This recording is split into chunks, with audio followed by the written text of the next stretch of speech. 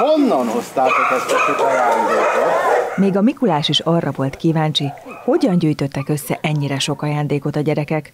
A szénatéri általános iskolások állateledelt és tisztítószereket gyűjtöttek az elmúlt hetekben a suliban, több osztály is csatlakozott a kezdeményezéshez. Az ajándékokat péntek délután vitték el a Heroszfehérvári állatot A gyerekek kedvességét az időközben megérkező Mikulás egy kis csokoládéval hálálta meg. Sok olyan állat van, akinek nincs gazdája, és ezért hoztunk nekik ételt, meg konzerveket, meg mindenféle ilyen kutya és macska eredet. A gyerekek a délután folyamán feldíszítették a Herosz egyik fenyőjét is, ezzel pedig elindult az idei állatok karácsonya.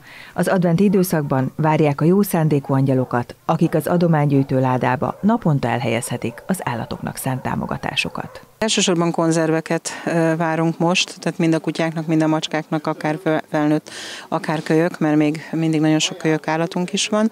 Tisztítószerek, fertőtlenítőszerek, bármi, ami a, a takarításhoz, a fertőtlenítéshez segít, az nagyon hasznos tud lenni, illetve meleg netszívó ruhák, takarok, törölközők, amelyeket az állatok alá be tudunk tenni, hogy azzal is a komfortérzetüket javítsuk. Az adományokat a belső kapu előtti gyűjtőládába reggel 8 és délután 4 óra között lehet elhelyezni, de személyesen vagy akár csomagküldő szolgálat segítségével is el lehet juttatni a menhelyre.